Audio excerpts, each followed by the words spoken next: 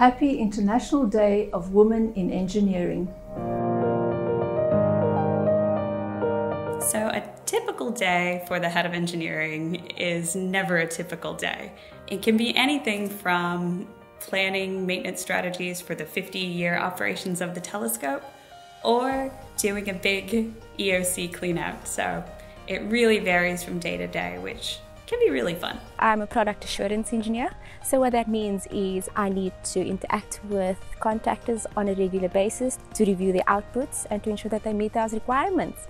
On a day-to-day -day basis, I lead a team of HSE professionals that assist me in implementing a rigorous health and safety and environmental system, both within the SKA MID operations and also in our construction projects by monitoring contractors and ensuring that they comply with all necessary legal requirements. Safety is important for everyone, no matter where you are, whether you're at the HQ, whether you are um, on site, or whether you are um, our contractors that are based all over the world. Everybody needs to be safety conscious. Working safely in a remote environment is always a challenge. With safety being one of the SKAO values, a priority for me for teams working on site is to empower them with knowledge and training to be able to understand the hazards and the risks that they are exposed to and that they go home safely at the end of every workday.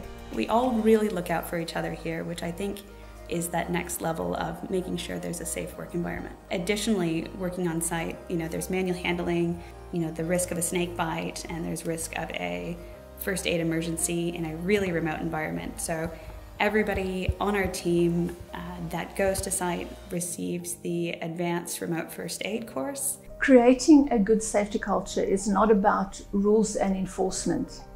It's more about providing people with knowledge and with information. We have a culture here where anybody uh, is empowered to speak up and say how they real, really feel about pretty much anything, but especially safety.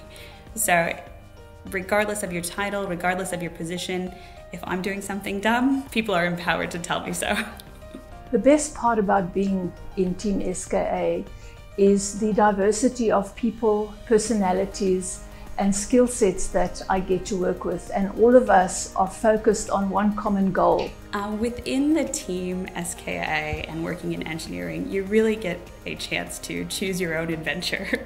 so, if, if you want to focus on strategy or solving highly technical problems, you can do that.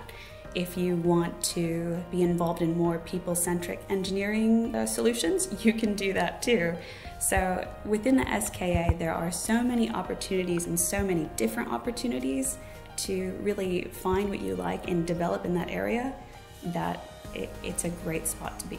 I love that I'm part of the development of the products that are being built for our telescopes from the beginning all the way to the end to ensure quality is being built into our products. It's very rewarding, it's exciting, and it's a lot of collaboration with other departments as well.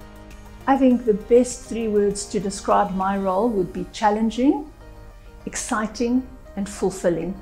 It doesn't matter who you are, it doesn't matter what stereotypes are there in the background, but engineering and solving problems is a is a people thing and it's for absolutely everybody.